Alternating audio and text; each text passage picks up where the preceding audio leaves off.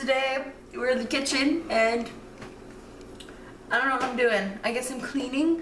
So today you're gonna join me on how I clean my kitchen and see how it goes, I guess.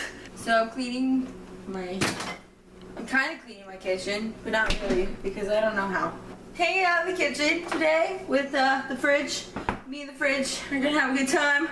We're just hanging out, being cool guys. And um,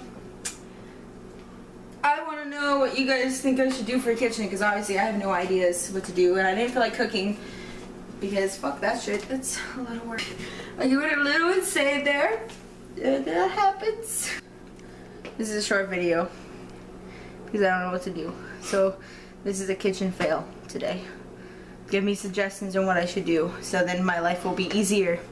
Give me suggestions on what I should do next. My adventurers out there and enjoy your voyage across the internet.